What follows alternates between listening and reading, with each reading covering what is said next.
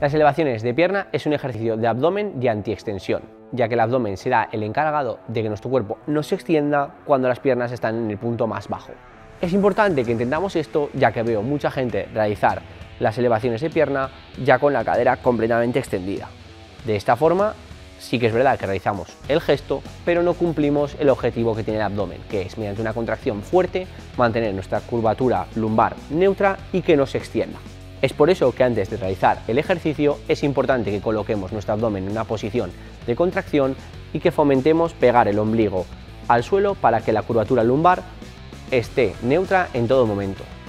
Es una posición en la que el lumbar está en contacto con el suelo y que no debemos de perder en ningún momento del ejercicio. Comienza siempre con las piernas en 90 grados y baja hasta una posición en la que el lumbar no se te arquea. No tienes por qué llegar hasta abajo del todo puedes ir incrementando el rango de recorrido conforme tu nivel va avanzando y tu fuerza abdominal va creciendo. Si ves que en algún momento tu curvatura lumbar pierde la neutralidad y se hiperextiende, es decir, que se arquea levantándose con respecto del suelo, es que no estás realizando el ejercicio correctamente, bien sea por fatiga o por falta de fuerza.